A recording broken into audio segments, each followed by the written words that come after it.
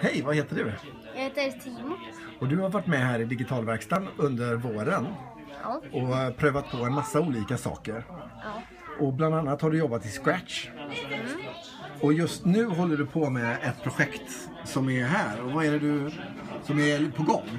Eh, alltså den där uh, gubben där som jag håller i. Ja, Han ska kunna hoppa och sen åka ner på plattformar, de här gula små sakerna. ja, Eh, och, så, och så ska det finnas ett stup här nere så om man ramlar ner då blir det game over, man dör.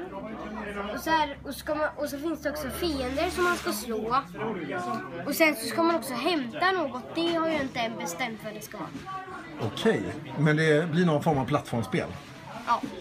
Och vad mer har du gjort här i Digitalverkstan under våren som du tyckte varit extra roligt?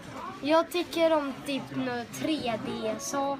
När ni jobbade med Tinkercad och byggde 3D-modeller. Ja, Vad var det som var extra kul med det då? mm, det var nog att, alltså det var så kul när man liksom bygga saker och så av runda och så 3D.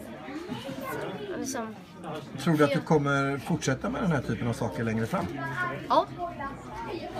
Och så gillar jag också Little Bits. Little Bits. Vad var det som var spännande med Little Bits då? Mm, Det var liksom att det fanns massa olika saker som man fick sätta ihop.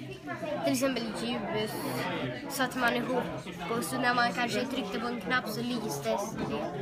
Och så, så kunde man bygga en robot. Gjorde ni det? Ehm, den blev inte så bra fast det blev ändå roligt. Ja, kul. Toppen. Då önskar jag dig lycka till Timo med ditt fortsatta byggande och programmerande. Tack.